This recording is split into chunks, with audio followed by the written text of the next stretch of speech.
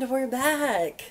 Humanoids! Welcome to another episode of Nothing Better Than a Cozy Sweater. And double welcome to my new show, Carwin's Cozy Comfy Couch Cola.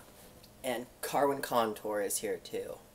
The song I'll be singing for you today is called Amor Eterno, written by Juan Gabriel for Rocio Durcal, one of my favorite female vocalists of all time. Juan Gabriel is arguably my favorite songwriter of all time. Rocio became famous in Spain when she was very young. What she thought would be the end of her career is when she met Juan Gabriel, and he wrote all these amazing songs for her, and they had a life partnership essentially. She was his muse. He wrote some amazing music for the two of them. If you're not familiar, check both of them out. The lore behind this song is that he wrote it for Rocio's son who had drowned in Acapulco. I don't know if that's official. I was lucky enough to see Juan Gabriel a few days before he passed away at the forum. What I remember, a big oval stage. Everyone was crying throughout the whole show. Crying, weeping, everywhere. There were four thrones, four sides of the stage. My favorite part was he would clap and sit and the mariachi would continue to play and he would just have a breather, you know, because being Juan Gabriel is tiring. It was such an amazing concert. I'm so lucky I was able to go. This song is brought to you by the